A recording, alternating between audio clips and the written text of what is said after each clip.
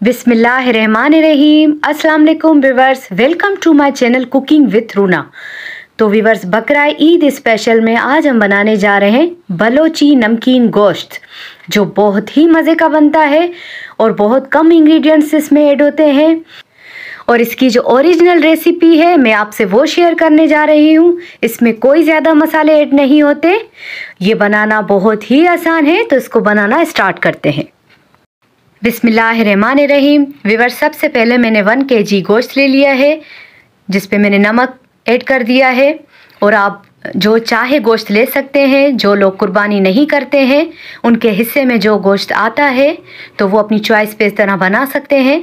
नमक ऐड करने के बाद मैंने एक से डेढ़ जग इसमें पानी ऐड किया है। फ्लेम को मैंने हाई रखा है। अब मैंने इसको कवर कर दिया। जैसे ही इसमें जोश आया तो मैं इसको लो फ्लेम पे रख दूँगी। तकरीबन दो घंटे में ये गोश्त गल जाएगा। गोश्त गल चुका है और पानी अच्छे से ड्राई हो चुका है। अब मैंने इसमें three tablespoon oil add किया है। डेढ़ से दो मिनट के लिए हम फ्राई करेंगे। ताकि ऑयल का कच्चापन ख़त्म हो जाए, आप चाहें तो घी का भी इस्तेमाल कर सकते हैं।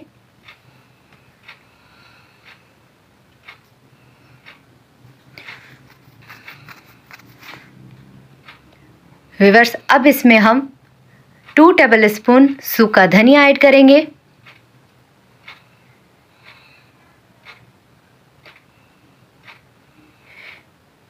गोश्त गलने के बाद तीन से चार मिनट में ये तैयार हो जाता है, ज़्यादा टाइम फिर नहीं लगता।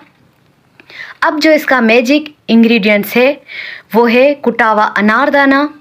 टू टेबल स्पून हम इसमें कुटावा अनारदाना ऐड करेंगे। जिससे इसका टेस्ट बहुत ज़्यादा बढ़ जाता है। यकीन करें, ये बहुत ही मज़े का बनता है। तो बलोची नमकीन गोश्त हमारा तैयार हो चुका है। जी वीवर्स तो कैसी लगी मेरी आज की रेसिपी? बलोची नमकीन गोश्त ज़रूर ट्राई कीजिएगा। और आपने देखा कि ये बहुत कम इंग्रेडिएंट्स में बन जाता है और ये बहुत ही टेस्टी बनता है। तो अगर आपको मेरी रेसिपी पसंद आए तो मेरे चैनल को लाइक करना सब्सक्राइब करना और शेयर करना हर किस नहीं भूलिएगा। इसी के साथ मैं चाहती हूँ आपसे इजाज़त। अल्लाह हाफिज़।